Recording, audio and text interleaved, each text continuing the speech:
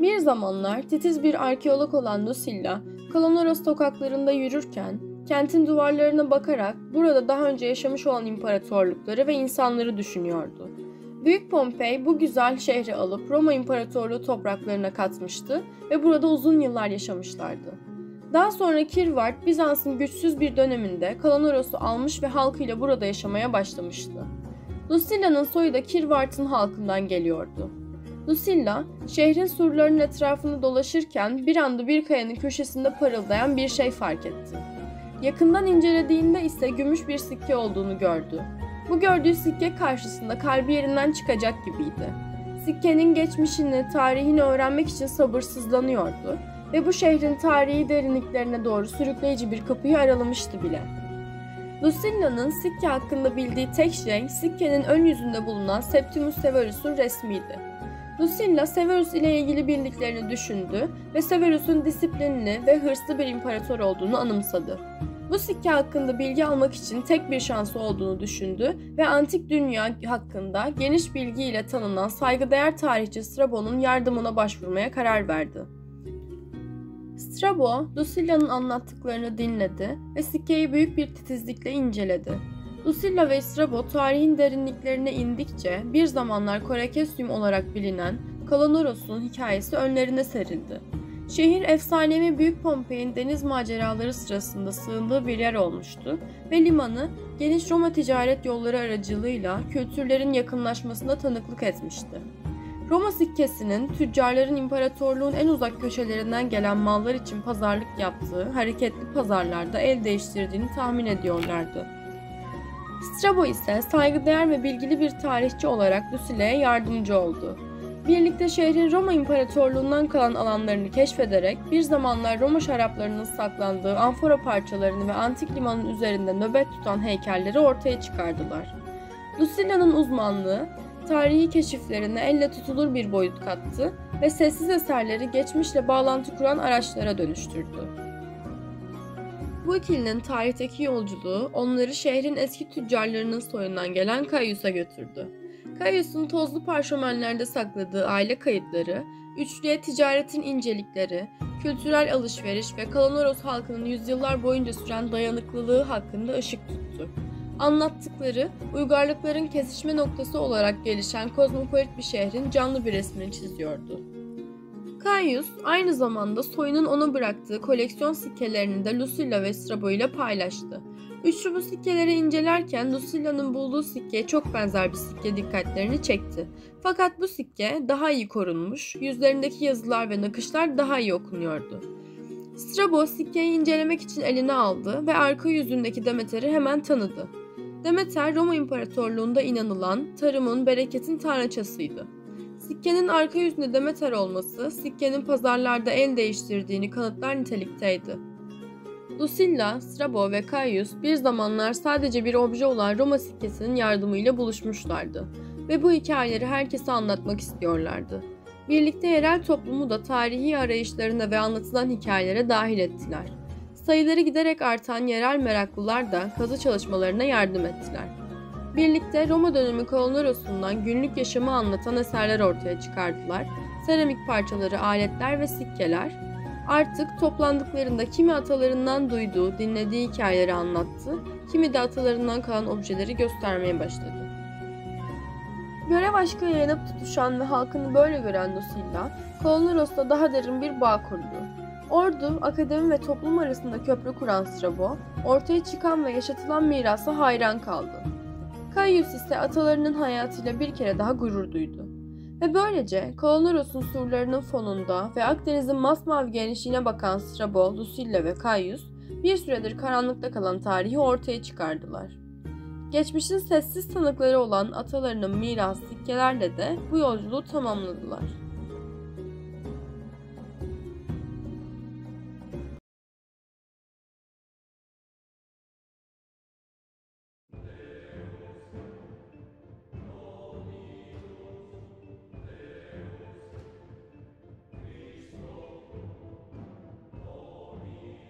Rüzgar Akdeniz'in sularını kıyıya vururken Alanya Kalesi'nin taş surları tarih kokan bir sessizlik içindeydi. Karamanoğlu 2. İbrahim Bey karesindeki evinde bu sessizliğe eşlik ediyordu. Gözleri uzaklardaki ufka dalmış, kaledeki gizemli olayları düşünüyordu. Kalenin gizemli atmosferi onu her zaman büyülemişti. Bir gün kalede gezinirken unutulmuş harabe bir oda gördü ve meraklı ve heyecanlı bir şekilde odayı incelemeye başladı. Odada eski bir el yazması buldu. Lo, Theodosius ve Büyük İskender'in kalede bir araya gelip gelmediği hakkında çelişkili bilgiler içeriyordu. Bu efsanevi buluşmayı araştırmaya karar verdi. Sessizliğin hakim olduğu bir gün bu efsanevi buluşmanın izlerini aramak için yola koyuldu. Kaledeki gizli odaların ve geçitlerin izlerini sürmeye başladı. İlk odada Laertes uygarlığına ait bir olayı anlatan Fenikece yazıt bulur ve bu yazıt üzerindeki yazılardan araştırmasına devam eder ve hemen bu odanın çıkışında dinlenmek için yer ararken mermerden bir koltuk bulur ve biraz dinlenmek için mermer koltuğa oturur.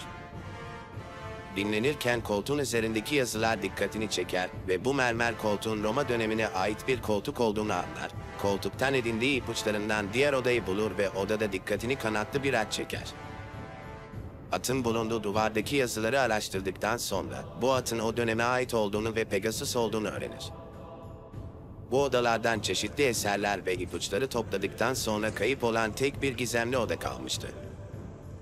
İbrahim Bey önceki odada kayıp odanın izini süren gizemli bir harita buldu.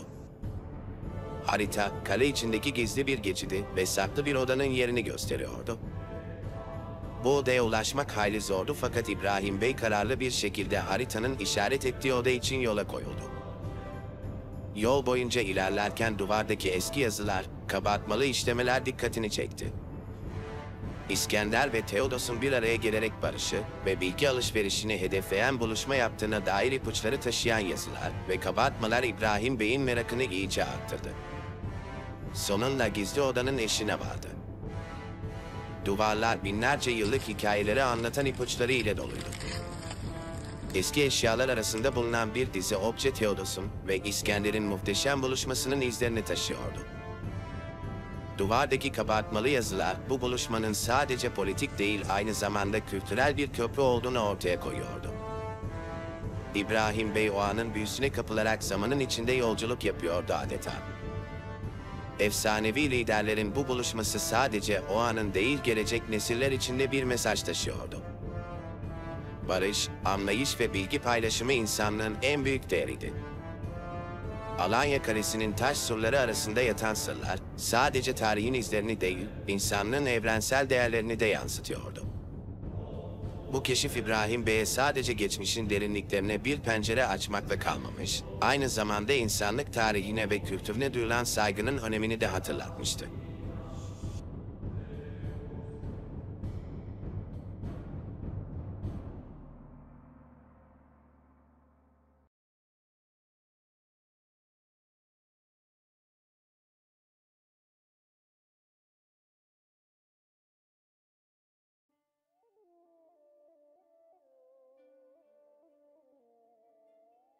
Alanya Kalesi'nin taş duvarları arasında geçen gecenin derin sessizliği, üç büyük ismin sohbetine tanıklık ediyordu.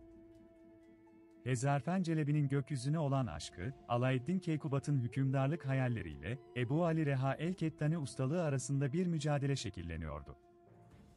Ancak bu mücadele, birbirini tamamlayan bir uyuma dönüşecekti. Bir gün batımında, Alaeddin Keykubat tahtından kalktı ve Alanya'nın muazzam manzarasını seyretmeye başladı. Şehrimize bir miras bırakmalıyız. Göz kamaştırıcı bir yapı, dedi içinden. Hezarfen Celebi, yanına yaklaştı ve, belki de gökyüzüne dokunan bir yapı inşa etmeliyiz, sultanım. Bir anı, kuşların kanatları altında dans etsin.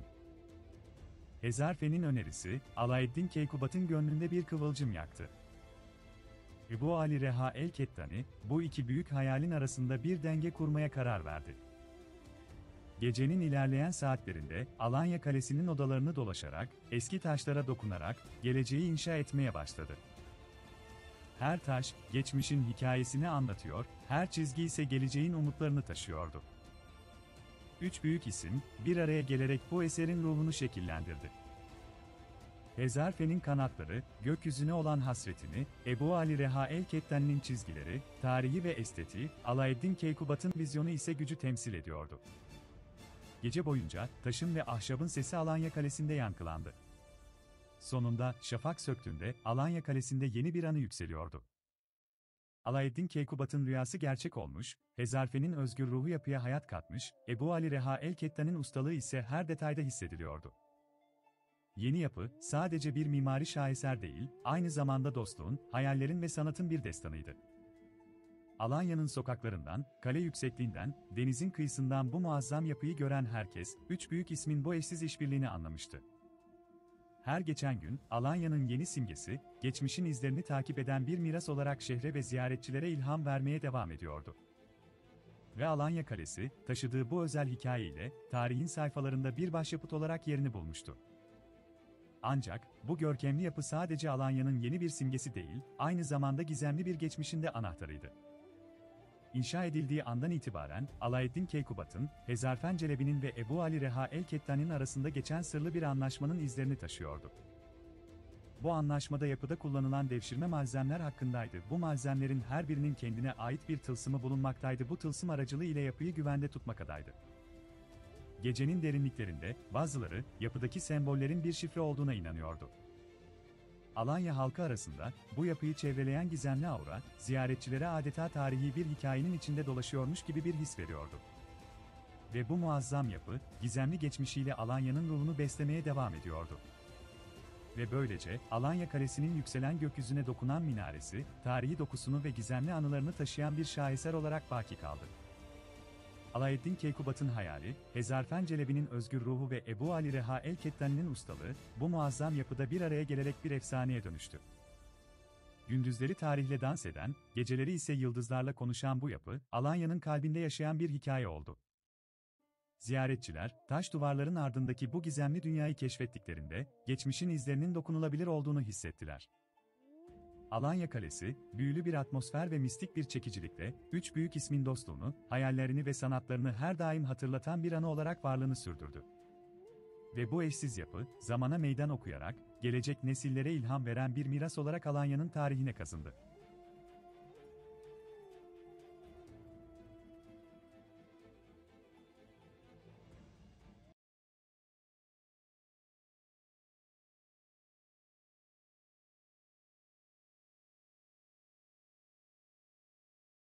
Antik Roma'nın ünlü lideri Jules Caesar, bir harita üzerinde Alanya'yı inceliyordu. Gözleri, bu gizemli ve güzel şehri keşfetme arzusuyla parlıyordu. Jules Caesar ve beraberindeki heyet, Alanya'ya doğru yola çıktı. Yolda bir konvoy ve zengin bir kortej ona eşlik ediyordu. Alanya surlarına yaklaştıklarında, şehrin büyüleyici manzarası Sezar'ı etkisi altına almıştı. Jules Caesar, Alanya'nın girişine geldiğinde yol üzerinde yerel halktan çiftçiler ve zanaatkarlarla karşılaşıyor. Onlarla sohbet ediyor ve ürünlerini inceliyor. Köylülerden birisi ona şehirde haydutların çoğaldığını ve köşe sokaklarda kırlı işler çevirdiklerini söylüyor. Jules Caesar bu sorunla ilgileneceğini söylüyor. Daha sonra şehrin surlarından içeri girmek üzere tekrar yola koyuluyor. Jules Caesar, Alanya'nın surlarına yaklaştığı sırada, ona eşlik eden heyetiyle birlikte tebdildi kıyafet yapıp halkın arasına karışmaya karar veriyor ve alışılmışın dışında sade bir kıyafetle Alanya Kalesi'nin içine giriyor. Halkın arasında dolaşırken, yerel esnafla ve halkla tanışıyor. Alışveriş yaparak, yöresel el sanatlarına ilgi gösteriyor ve şehrin güzelliklerini daha yakından keşfediyor. Renkli pazarlar, egzotik kokular ve Alanya'nın tarihini yansıtan mimari yapılara hayran kalıyor. Karşılaştığı bir handa vakit geçiyor ve Alanya'nın zengin kültürünü daha yakından keşfediyor. Arka sokaklardan birinde dinlenirken, Jules Caesar, bir grup haydutun bulunduğu sokağı fark ediyor. Sessizce yaklaşıyor ve haydutların halka zarar verdiğini duyuyor. Hemen harekete geçiyor ve tebdildi kıyafetinin altında Roma'nın ünlü lideri olduğu anlaşılmadan önce haydutlarla mücadeleye giriyor. Jules Caesar, cesareti ve savaş becerileriyle haydutlarla çatışıyor. Zorlu bir dövüşün ardından, haydutları mağlup ediyor ve sokakta huzuru sağlıyor. Halk, Sezar'ın kahramanlığına şahit oluyor ve minnettarlıkla ona yaklaşıyor. Jules Sezar, haydutların ele geçirdiği bölgeyi halkın kullanımına açıyor. Daha sonra şehrin yöneticileriyle tanışmak için kalenin merdivenlerini tırmanıyor. Kale girişinde onu tanıyan muhafızlar ona yöneticilerin şu anda kalede olmadıklarını söylüyor ve Sezar'a taht odasına kadar eşlik ediyorlar. Sezar odaya girdiğinde etrafı inceliyor ve tahta oturuyor. Daha sonra sorumsuz yöneticilere hadlerini bildirmek için sessiz bir bekleyişe koyuluyor. Sanırım yöneticilerin başı büyük bir dertte.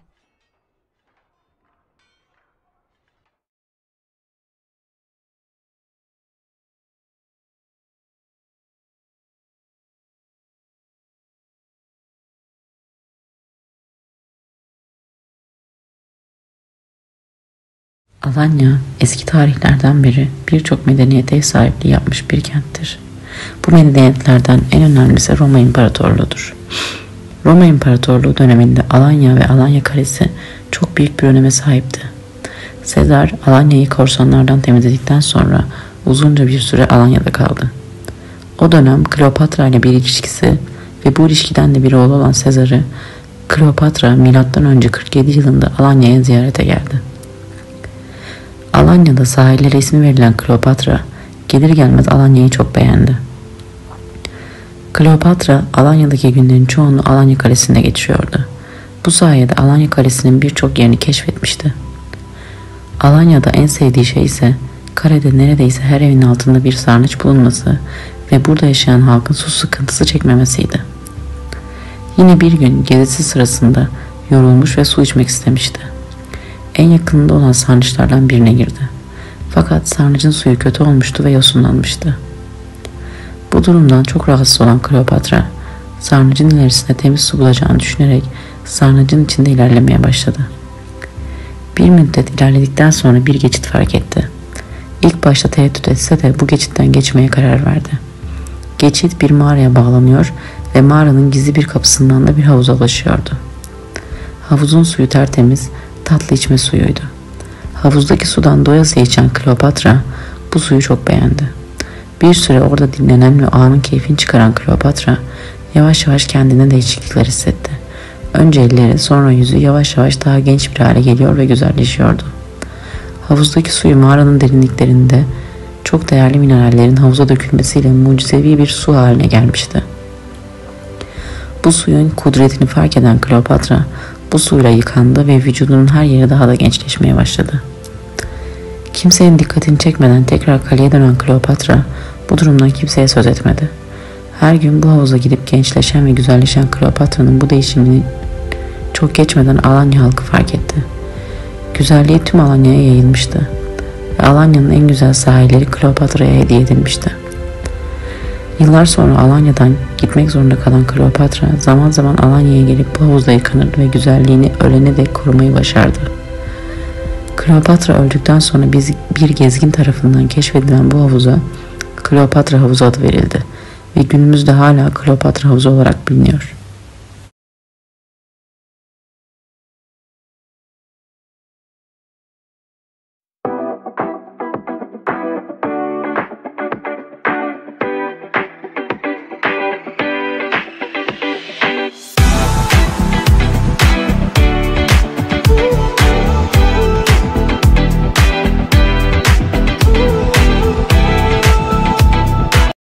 ...1930'lar. Toz zerrelerinin toprak yol boyunca havada uçuştuğu kavurdu sıcakta Alanyalı Emine abla yayla göçü için çoktan hazırlıklara başlamış, savaştan geriye erkekler haricinde kalan tüm ev halkıyla sabah erkenden uyanıp fıstık ağaçlarının dibini çapalayarak ekin tarlaları hasada verilir, tarla sıcaktan toprağa karışmış otlarla bir güzel tırpalanırdı. Deve nalları bilenir, havutları temizlenir, kıyıdan yayla köylere göçe hazırlanılırdı. Mahmut Seydi Patika yollarının koskoca kayaların arasına aralık bıraktığı yayla bu yıl hiç olmadığı kadar şenlikli geçeceğe benziyordu. 79 yaşında bir çınar Emin Paşa, Mahmut Seydi köyünün yaz akşamlarında köy evi iskemlesinde akşam ezanını beklerken derin düşüncelere dalmış halde zikrini eda ediyor. Bir yandan da köyün ileri gelenleriyle birlikte aldıkları kararların istişaresini yapıyordu. Uzun geçen günün ardından Mahmut Seydi ise Yaz gecelerinde köy evlerinin balkonlarındaki kandil ışıklarıyla ışıl ışıl aydınlanır, tepe arası sakinlerinin sesleriyle yankılanan Kızıl Kurum Tepesi, bilmeyenler için Alanya merkezden apayrı bir yaşamın var olduğu bir yerdi. Mahmut Seydiller içinse Alanya kıyıları, kışları çalışıp para kazanabilecekleri, sinek ve sazlıklardan oluşan bir bataklıktan ibaret. Ancak tarihine ve doğal güzelliklerine bakınca nice hatıra fotoğraflarının arka planlarında bulundurdukları eşsiz manzaralara sahip bir kentti. Deve kervanlarının geçiş noktası olan bu kent, tarihinde savaşlara ev sahipliği yapmış, istilalara uğramış olması sebebiyle barbar ve istilacı toplumların en büyük gözdesi olmuştur. Emin Paşa'nın tepe arasındaki köy evinin ziyaretçileri hiç eksilmez. Konak içerisinde gün içinde toplantılar ve sohbetler yapılırdı. Bu ziyaretçilerin arasında en çok da çocuklar vardı. Konağın çevresinde toplaşıp oyunlar oynarken Emin Paşa dedenin ellerinden aldıkları şekerlerle köyün yokuşundan aşağı doğru yuvarlanır. Bir yandan da köyün hayvan sürülerinin çobanlığını yapıyorlardı. Keçi sürüleri tepenin en dik yamaçlarında otlanırken ormandaki avcıların yiyeceği olmaması için daima gözetlenmeliydi. Bu çobanların arasında 10 kişilik bir ailenin en küçüğü olan Cemil, Mahmut Seydi'nin Cumhuriyet'in ilanından sonra doğan ilk bebeğiydi. Bu bakımdan büyüyene kadar köy halkı tarafından korunup kullanıyordu. Cemil'in babası Kurtuluş Savaşı'nda deniz donanmasında görev almış, İtalyanların Alanya kıyılarında halkı korkutmak için rastgele attıkları bombaların intikamını Çanakkale cephesinde almış bir gaziydi. Cumhuriyetin ilk yıllarında yaşanan savaşın etkileri ülkede henüz kaybolmamışken Alanya halkı yapılan yeni reformlarla birlikte yepyeni bir hayata hazırlanıyordu. Bir zamanlar yabancıların toplarla, tüfeklerle kapısına dayandığı bu kent, tarihi ve coğrafyasıyla geleceğe göz kırpıyordu. Tüm bunlardan habersiz Alanya köyleri sakinleri geçimini tarıma ve hayvancılığa bağlamış, esnaf cebinde çok parası olsa bile yaşamını basit şeyler üzerine kurmuştu. Torosların arasından yükselen güneşle Cemil uyanır uyanmaz heyecanla ocak başında ekmek yapan annesinin yanına koştu. Nefes nefese Ana, hele bir dur. Ana, kafamda ne var böyle? annesi elindeki oklavayı sertçe yere vurup Ne oluyor be oğlum ne bir telaş sabah sabah. Cemil uyku sersemiyle kendine gelir gelmez silkelendi. Rüyaymış deyip annesine sarıldı. Annesinin açtığı yufkalardan bir parça alıp arka odaya geçti. Yere serilmiş minderin üzerine oturup rüyasını hatırlamaya çalıştı. Onu öyle çok etkilemişti ki sabaha karşı kanter içinde hiç durmadan sayıklamıştı. Cemil köyde oldukça yaramaz bir çocuktu. Kapkara zeytin gözleri üzerinde alnına dökülen perçem saçlarıyla bir erkek çocuğundan ziyade kız çocuğuna benziyordu. Bu bakımdan arkadaşları tarafından Cemile diye lakap takılmıştı. Mahmut Seydi köyünde en yakın arkadaşları, kuzeni Ayşe ve Selim'di. Bir araya geldikleri ilk vakitte birlikte kaleye çıkarlar, güneş batıncaya kadar harabelerin arasında oyun oynarlardı. Tarihi kalıntıların içine bir şeyler saklayıp diğer mahalle çocuklarına tüm araziyi dolaştırırlardı. Güneş batınca da kaleden aşağı kendilerini boşluğa bırakırcasına koşup Ayşe ve Selim'in Alanya İlçkale'deki evine sofraya otururlardı. Günün yorgunluğuyla bahçede, ağaç köşkte sabah erkenden kalkmak üzere öylece uyuyakalırlardı. Günlerden çarşamba öğleden sonra yazın son aylarında hava hafiften serinlemeye başlamıştı. Hamdullah Emin ağır adımlarla konağın merdivenlerinden indi. Konağın bahçesinden eşi Tahira Hanım'ı yanına çağırıp Sıra dağlar boyunca uzanan Toros manzarasını işaret ederek Ah be hanım, görüyor musun? Bu sene de bizim beyaz aslan iyi döktüreceğe benziyor.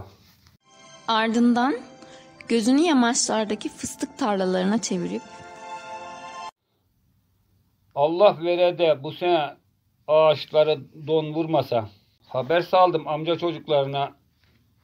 Vaktinde ilgileri verecekler. Bey, öyle dersin de köyde bir tek fıstık ağaçları mı var? Köylü yeni yeni fark etti tarlası olduğunu. Şimdilerde kim elinde ne kadar tohum varsa dikiyor toprağa. Sayende kimse yayladan hiç kıyıya yerleşmiyor. Halbuki oraların da toprağı yok mu? Bak göreceksin. Oraları satmak çocuklarımıza bile kalmaz. Halbuki para dediğin şey çar, çarçur olur biter. Hele kötü birinin eline geçsin. Kuru çarıkla kanımızla kurtarmaya çalıştığımız vatan toprağını kendi paramızla satarız. Elin üç kuruşluk gavuruna.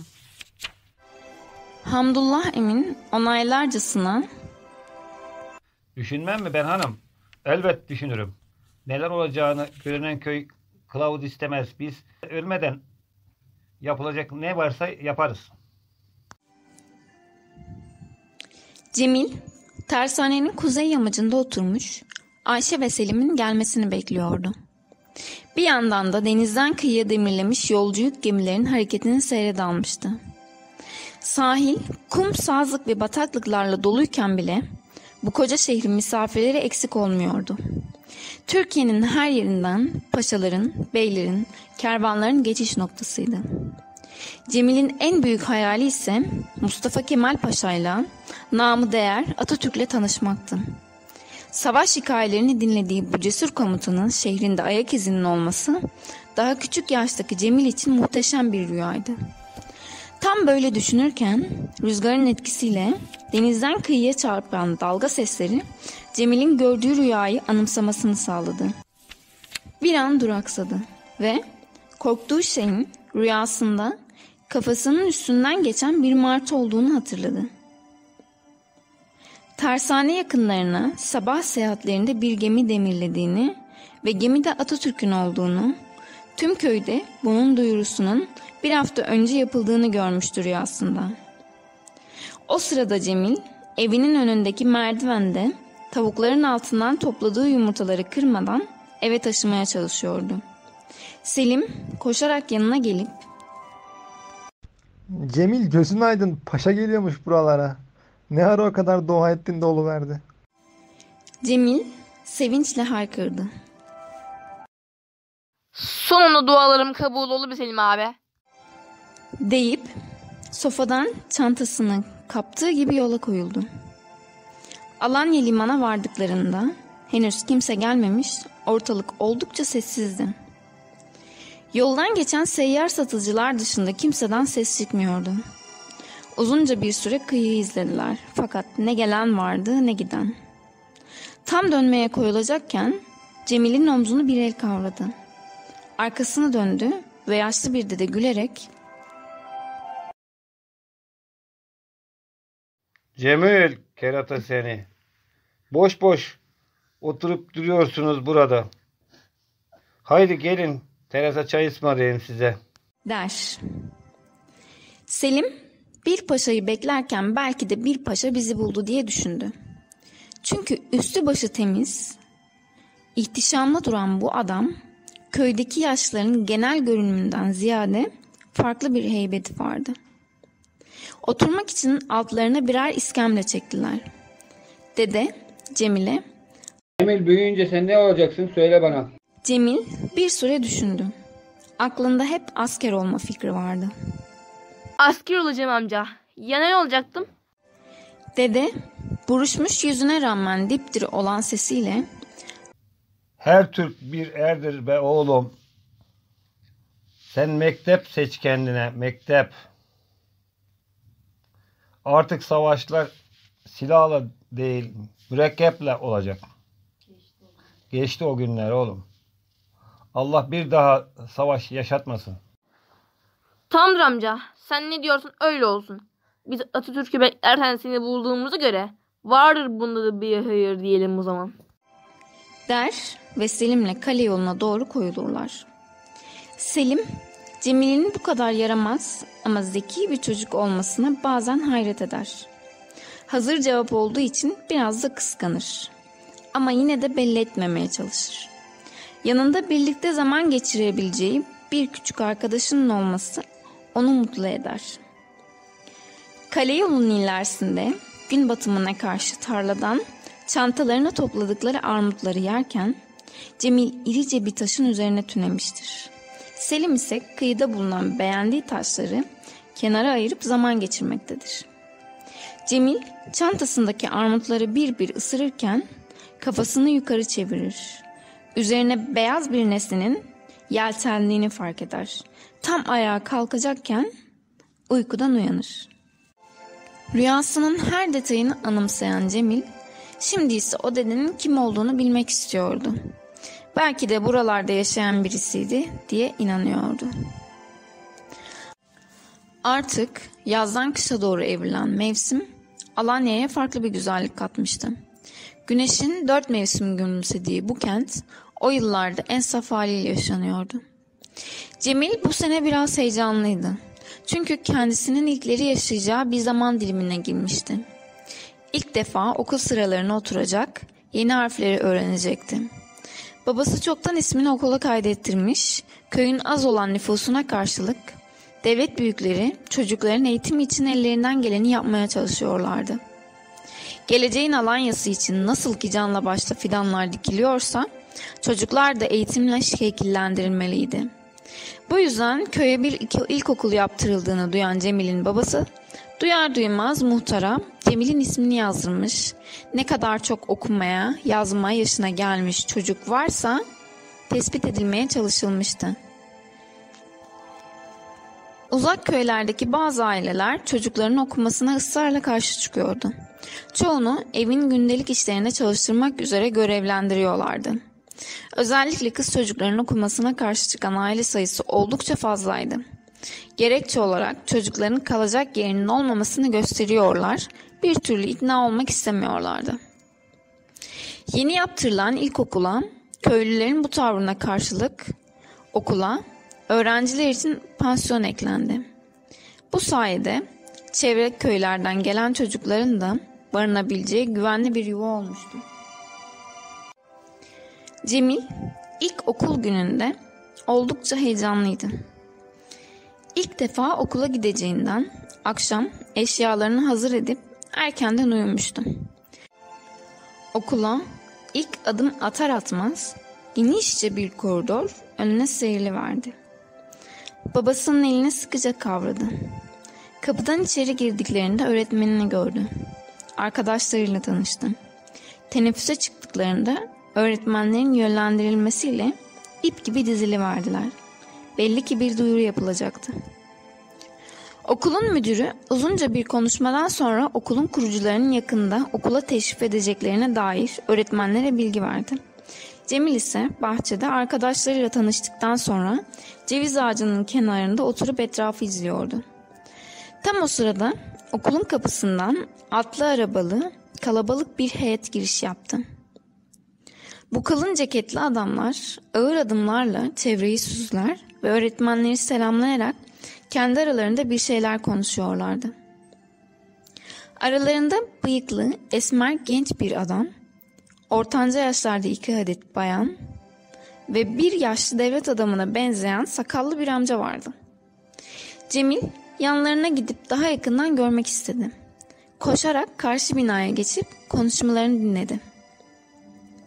Amca çevreye bakınırken Cemil'in tarafına döndü ve fakat o da ne? Cemil'in rüyasındaki amcanın tıpkısının aynısıydı. Cemil heyecanlandı. Hemen öğretmenin yanına koştu ve kim olduklarını sordu. Öğretmen, O gördüğün amca bu okulun kurucusu Hamdullah Emin Paşa. Cemil'in gözünden yaşlar süzüldü. Öğretmen ağladığına çok şaşırdı. Aa çocuğum ağlamanın sebebi ne ki? Şimdi durduk yere. Hayırdır be oğlum? Bir derdin mi var? Cemil, Yok öğretmenim. Sevinçten ağlıyorum. bir paşayı beklerken başka bir paşa bizi buldu diye mırıldanarak sevinçle evine koyuldu. Cemil o günden sonra her gün okula gidiyor, ödevlerini aksatmadan yapıyordu. Paşa dedesiyle gerçek hayatta da tanışmış, sınıflarında ağırlamış, tıpkı rüyalarındaki gibi gelecekle ilgili hayallerini anlatmıştı. Üstelik hayalindeki gibi Atatürk Alanya'ya ani bir kararla ayak basmış, onu davet eden içerisinde Emin Paşa'nın da bulunduğu heyette ve Emin Paşa sayesinde Cemil de Atatürk'le tanışma fırsatı bulmuştu. Cemil ortaokulu, liseyi bir dereceyle bitirdi. Doktor olmak üzere İstanbul'a yerleşti. Cemil de tıpkı Emin Paşa gibi bir gün köyüne dönme hayaliyle çalıştı, çabaladı ve Alanya'ya yerleşti. Cemil'in ardından Emin Paşa kurduğu vakıflar sayesinde onlarca çocuğun okumasına alıştırıldı. Bugünkü devlet adamlarının yetişmesine aracı olan Emin Paşa, 4 Nisan 1939'da İstanbul Şişli'de aramızdan ayrıldı. Ancak ardında yetişmesine vesile olduğu yüzlerce genç fidanlarla geleceğin Türkiye'sinin inşasında büyük rol oynadı.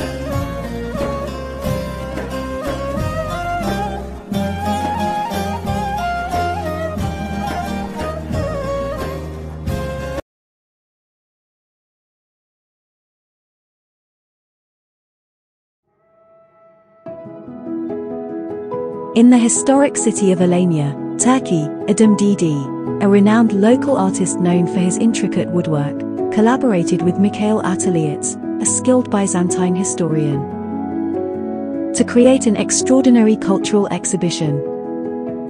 Their collaboration aimed to bridge the gap between diverse communities.